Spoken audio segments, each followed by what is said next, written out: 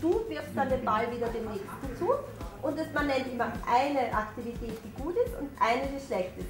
Gut, also ich habe meine genannt, du machst gleich deine. Aber wir bewegen uns hier im Raum. Und Der Energieführerschein bietet Jugendliche im Alter von 12 bis 20 Jahren die Möglichkeit, sich zum Thema Energiesparen am Arbeitsplatz und im Alltag weiterzubilden. Das Seminar ist in die Themen Home Office und Leisure aufgeteilt, dauert drei Halbtage und wird mit einem Zertifikat abgeschlossen.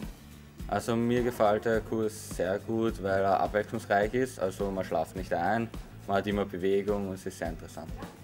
Ich mache den Kurs, ähm, damit ich erlernen kann, wie ich dann in meiner neuen Wohnung das alles viel energieeffizienter das einrichten kann. Also mein Vater zum Beispiel, der schaut oft fern und schläft, schläft dabei oft ein. Das sage ich immer. Schau, dass er einen Timer setzt, der zum Beispiel in einer halben Stunde dreht sich der Fernseher ab.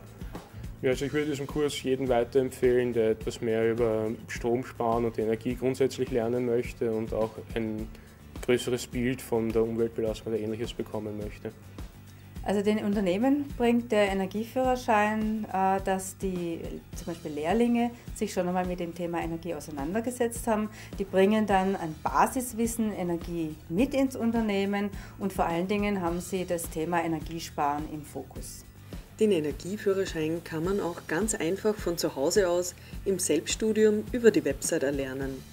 Die aktuellen Termine der Energieführerschein-Seminare, Kursunterlagen sowie Informationen zu Kosten und Förderungsmöglichkeiten finden Sie unter www.energie-führerschein.at.